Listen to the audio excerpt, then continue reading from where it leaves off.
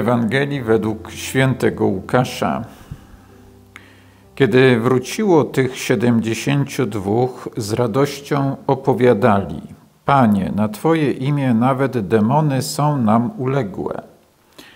Rzekł im: Widziałem szatana, gdy jak błyskawica spadł z nieba.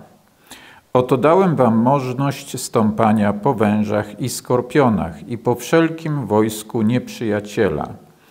I nic was nie skrzywdzi. Nie z tego jednak się cieszcie, że duchy są wam uległe. Cieszcie się, że wasze imiona w niebie są zapisane. Tej samej godziny rozradował się w Duchu Świętym i powiedział: Uwielbiam Cię, Ojcze, Panie nieba i ziemi, że zakryłeś to przed uczonymi i mądrymi, a odsłoniłeś głupim. Tak, Ojcze, bo tak Ci się podobało. Mój Ojciec mnie wszystko przekazał, a nikt nie wie, kim jest Syn, z wyjątkiem Ojca, ani kim jest Ojciec, z wyjątkiem Syna i tego, komu Syn zechce odsłonić. Zwracając się potem na osobności do swoich uczniów, powiedział – Szczęśliwe oczy, które patrzą na to, na co wy patrzycie. Zapewniam was, że wielu proroków i królów chciało zobaczyć to, na co wy patrzycie, a nie zobaczyli, i usłyszeć, a nie usłyszeli. E, może zanim e, przejdę do e, tego, co chciałem przekazać przede wszystkim jako zasadnicze, komentując dzisiejszą Ewangelię, to chciałbym najpierw może zatrzymać się momencik mm, przy tym y, zdaniu, które może być troszeczkę zaskakujące, zwłaszcza w tym tłumaczeniu, y, którym się posługuje w Biblii pierwszego Kościoła. Mm, mam na myśli y, to, te słowa Pana Jezusa: Uwielbiam Cię, Ojcze, Panie nieba i ziemi że zakryłeś to przed uczonymi i mądrymi, a odsłoniłeś głupim. Jak pewnie pamiętamy, w innych tłumaczeniach y, jest użyte tutaj zamiast głupim, użyte słowo y, prostaczką. Nie wiem, co, y, co jest tutaj lepsze, czy być nazwanym głupim, czy prostaczkiem, ale ja może powiem, jak ja rozumiem, odbieram te słowa. Y, absolutnie nie odbieram tych słów w taki sposób, że Pan Jezus nas, na przykład mnie, uważa za głupiego, mnie czy ciebie. Y, nie, bo przecież pamiętamy, że Pan Jezus powiedział, że jeżeli ktoś kogoś nazywa głupim, y, no to łamie piąte przekazanie: nie zabijaj. Y, więc to na pewno, na pewno nie jest tak, nie? że Pan Jezus nas czy kogokolwiek uważa za głupiego. Y, myślę, że tutaj Pan Jezus raczej miał na myśli to, że y, Ojciec, Pan nieba i ziemi, zakrył te rzeczy, Ewangelię i tak dalej, przed tymi, którzy siebie uważają za uczonych i mądrych. Tak, bo mm, ja nie powinienem siebie uważać za uczonego i mądrego, jeśli mam przyjąć Ewangelię. No bo jeżeli ja jestem już uczony i mądry, to po co mi Ewangelia? Po co mi w ogóle Pan Jezus jako nauczyciel? To raczej ja będę Jego pouczał. To jest postawa, której ja osobiście bardzo się boję, bo wiem, że jeśli będę miał taką postawę, że ja już wszystko wiem, ja już y, wszystko rozumiem, y, jestem mądry i uczony, to przeoczę wiele rzeczy. Wiele rzeczy, których ciągle nie rozumiem, bo jestem głupi. No? Czyli właśnie nie mądry i uczony. Ja je przeoczę w Ewangelii. Yy, tak, nie będę umiał ich zobaczyć. Tak.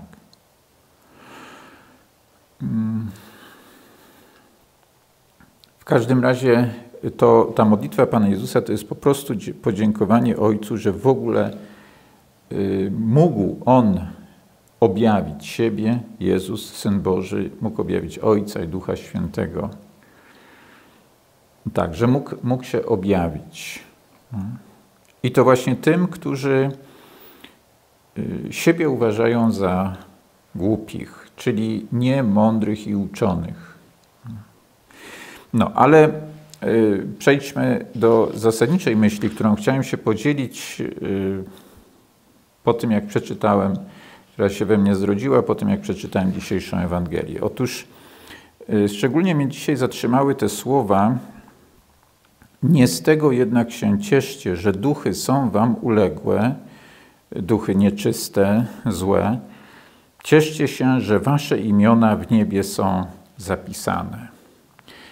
Jak ja rozumiem te słowa Pana Jezusa, że moje imię jest zapisane w niebie? Mam nadzieję. Hmm. Y, otóż rozumiem to tak, że y, ja mam relację z Bogiem. Czy moje imiona są zapisane w niebie wtedy, kiedy ja mam relację z Bogiem? Jeśli ja żyję z kimś w przyjaźni, to moje imię jest u niego zapisane. Dla mnie na przykład taką wielką frajdą jest to, że pamiętam coraz więcej imion różnych ludzi. Mm, daje mi to takie poczucie, że, że właśnie, że nie jestem sam. To jest niezmiernie ważne. Właśnie e, e, kiedyś słyszałem taką teorię, z którą już się nie zgadzam, tak, że człowiek jest w stanie zapamiętać naraz jedynie 150 mm, imion, kojarzyć nie? 150 imion z twarzą człowieka. E, myślę, że nie. Myślę, że nawet śmiem twierdzić, że, e, że tutaj nie ma żadnych granic. I, i robię wszystko, żeby pamięta, pamiętać imiona jak największej liczby osób. Bo wtedy czuję z nimi więź. Tak. I y, kiedy Pan Jezus mówi, cieszcie się z tego, że wasze imiona są zapisane w niebie, to znaczy, ja to tak rozumiem, cieszcie się z tego, że macie więź z Bogiem. Tak. Czyli mówiąc inaczej, Pan Jezus nie posłał tych 72, mm, wczoraj, przedwczoraj słyszeliśmy, co Pan Jezus do nich mówił, zanim ich posłał. I nie posłał ich po to, żeby oni odnieśli jakieś apostolskie sukcesy. Właśnie mnie nie interesują żadne apostolskie sukcesy. Oczywiście cieszy mnie, że jest y, tyle wyświetleń mm, na YouTubie tego, co ja mówię, że tak wiele osób chce słuchać to, tego, czym ja się dzielę. Oczywiście cieszy mnie zawsze, jeżeli przyczynię się do tego, to co powiedziałem, co zrobiłem, przyczynia się do tego, że ktoś y, poznaje Boga, poznaje Jezusa, zaprzyjaźnia się z Nim. Oczywiście, że to mnie cieszy, że ludzie się jednają z Bogiem, między sobą, y, pod moim jakimś tam wpływem, czy z moją jakąś pomocą. To mnie oczywiście cieszy. Ale, ale to jest y, efekt uboczny mojej, to ma być moim zdaniem efekt uboczny mojej przyjaźni z Bogiem. Celem moim jest moja przyjaźń z Bogiem. Czyli właśnie to, żeby moje imię było zapisane w niebie. To znaczy, żebym, żebym ja był kimś bliskim dla Boga. Oczywiście Bóg pamięta imiona każdego człowieka, również tego, który nie chce żyć w przyjaźni z Nim. Co do tego nie mam wątpliwości. Ale te słowa Pana Jezusa, cieszcie się z tego, że wasze imiona są zapisane w niebie,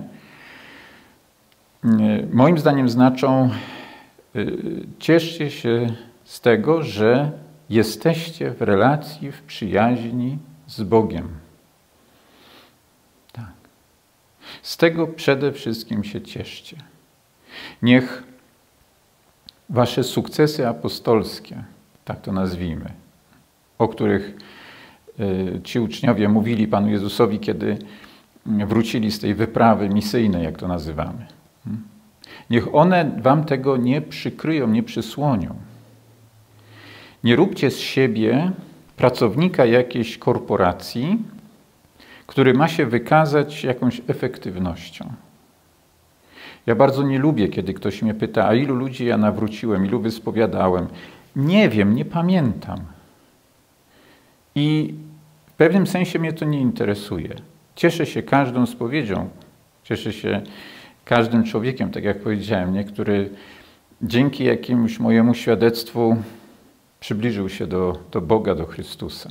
Cieszę się, ale nie liczę tego, bo, bo nie traktuję tego jako mój sukces. Mój jedyny, największy sukces, jaki ja w życiu odniosłem, to jest moja przyjaźń z Jezusem. I ten sukces jeszcze dla mnie nie jest pełen, bo ta przyjaźń jeszcze nie jest tak głęboka, jak ja bym chciał, żeby była, jaką Chrystus by chciał, żeby była. Tak. tak. Ona jeszcze nie jest tak głęboka, jeszcze, jeszcze, jeszcze nie jestem tak oddany Jemu, tak do końca, tak jakbym chciał. Ale tę przyjaźń mam, mam tę relację. Yy, czyli moje imię jest zapisane w niebie. Tak, y, lubię sobie wyobrażać, jak Pan Jezus mówi do mnie po imieniu. Tak, tak jak się mówi do przyjaciela. Mhm. Tak, dlatego też lubię, jak inni mówią do mnie po imieniu. Dużo bardziej wolę, że ktoś mówi do mnie po imieniu, niż, niż mówi ksiądz. Nie? Ksiądz to jest jakiś urząd, rola, nie? a imię to, jestem, to, to jest w imieniu jest zawarte, jestem po prostu ja. Imię oczywiście połączone z twarzą. Imię połączone z twarzą to jest coś, co jest niepowtarzalne. Księży jest mnóstwo na świecie. Ojców, w sensie zakonników, jest mnóstwo na świecie. Samych jezuitów jest 17 tysięcy. Natomiast Mietek nie, z tą twarzą jest tylko jeden. Jest tylko jeden na świecie. I, I lubię się cieszyć tym, że Chrystus to widzi, rozpoznaje, że nie jestem dla Niego właśnie kolejnym na przykład księdzem. Tak. Dla mnie te słowa oznaczają, że dla Chrystusa nie jestem kolejnym księdzem, który lepiej czy gorzej jakoś tam wykonuje swoją robotę, którą On mi zlecił. Nie, jakimś takim dla Chrystusa nie jestem. I cieszę się bardzo. Jestem mu za to bardzo wdzięczny. I to dla mnie oznaczają te słowa: Cieszcie się z tego, że wasze imiona zapisane są w niebie. Myślę, że można też powiedzieć, zapisane są w sercu moim, w sercu Boga, w sercu Chrystusa. Chrystus mówi: Cieszcie się z tego, że Wasze imiona są zapisane w moim sercu.